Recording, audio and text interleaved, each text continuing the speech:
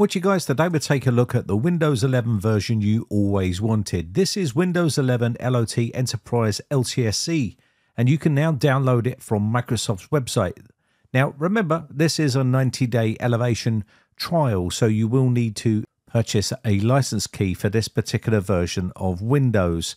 And this version of Windows is generally targeted uh, towards fixed functional special purpose devices that require a long uh, support lifecycle of 10 years. These devices are typically found in industries including banking, quick service restaurants, healthcare, hospitality, and also manufacturing and retail. So, this is what this operating system is designed for, and that means all of the fluff or the filler that is uh, bloated into the versions of Windows that home users use because companies are not going to be using things like Copilot or Recall or any of that other bloat that comes with Windows versions because a lot of these point of sale uh, setups, which is what this is designed for, is to just run on systems and have very lightweight usage. They don't need any of that stuff.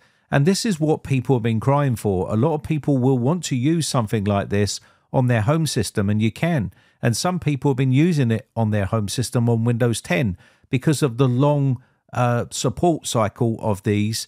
Uh, you get a lot longer uh, for security updates. For instance, Windows 10, if you've got this version of Windows 10, uh, you can have up to 2000, I think, and 35, or even a little bit less than that. But it's still a long way off of end of life for Windows 10 if you have this license. So this is the Windows 11 version. And if we look down for the optional minimal requirements, you can see here there are some minimal requirements uh, that are required, and there's some optional stuff, and it's TPM and it's also secure boot, which you don't need to have. So this is ideal for a lot of people that don't have supported hardware. You could run this on unsupported hardware legally, and a lot of these old systems that are running point of sale or anything like that, they are running old computers and they won't have the TPM or secure boot or all these other features that are needed on a home computer. So basically, they give you the option to run it uh, with no.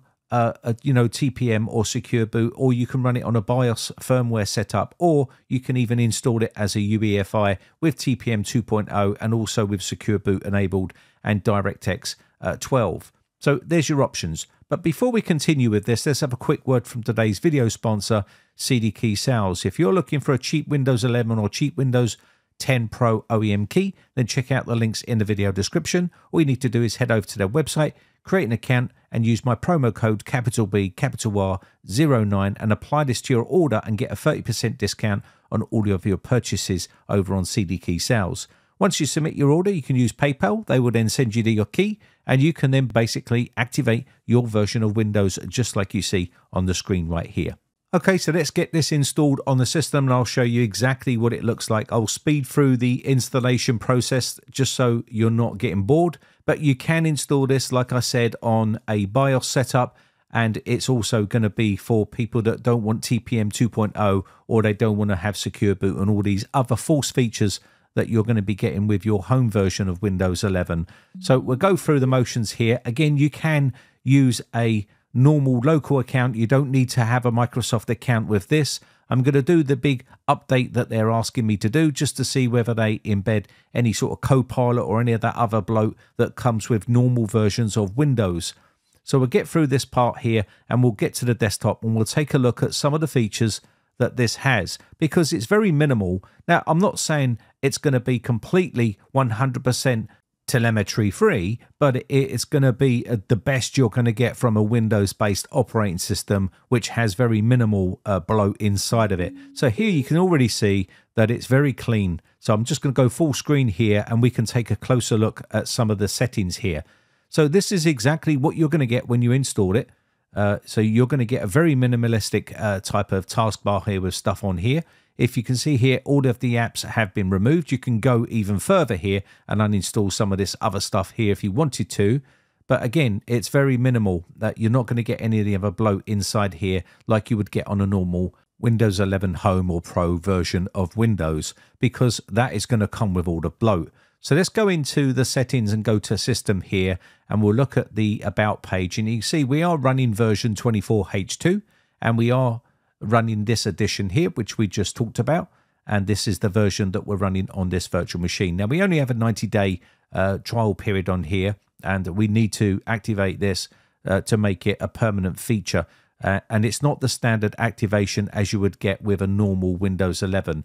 You can see BitLocker hasn't been turned on by default, so this is off, which is a good thing for those people that don't want BitLocker enabled uh, when installing. I'm just going to download and install all of these updates here to make sure there's no added features inside here so we can check. And what we'll do here is we'll go down and look at some of the apps and some of the other features on here. So let's go to personalization here and let's go down to where it says taskbar here and click on this. And you can see there's very minimal here. There's no Copilot, there's no other stuff like widgets and things like that that you have to go in and turn off. They're just removed from here altogether. And the good thing as well is that it means that you don't have to go in and start running scripts to debloat the operating system because it's already had a lot of stuff removed from it to save you having to go through the whole process of having to do that yourself. So it means it's going to be easier to manage. There's only a few settings that you need to go in here and just turn off, and you can do that in the group policy editor.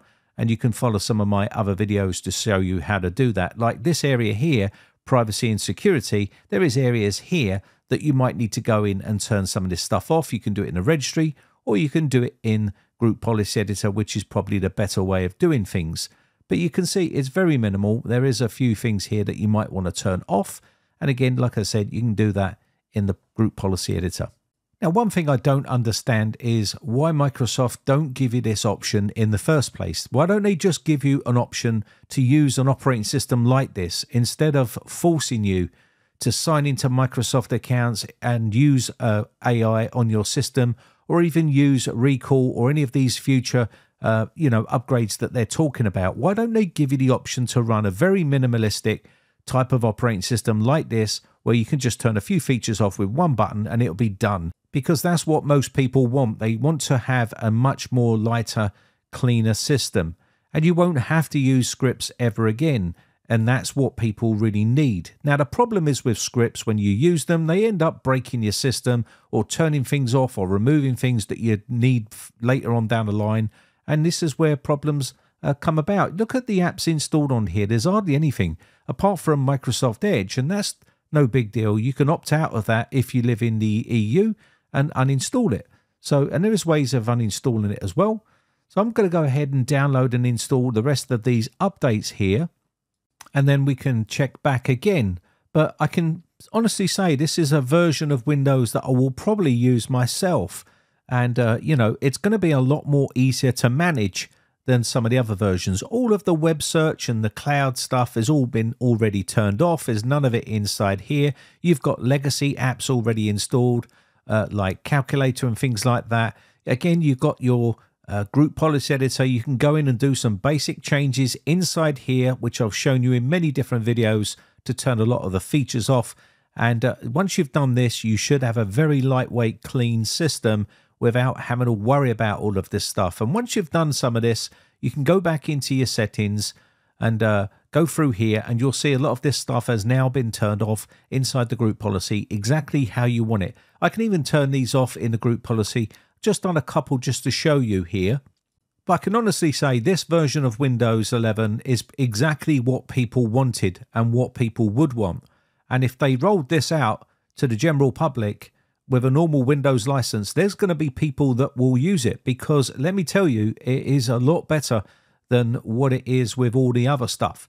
Uh, you know, all the other bloat that no one wants. Now, I'm not saying that people don't want AI, but AI really to me is just pointless. All it's doing is just going off on the internet and finding some uh, post about something and then telling you about it rather than you going to search for it. That's all AI is doing.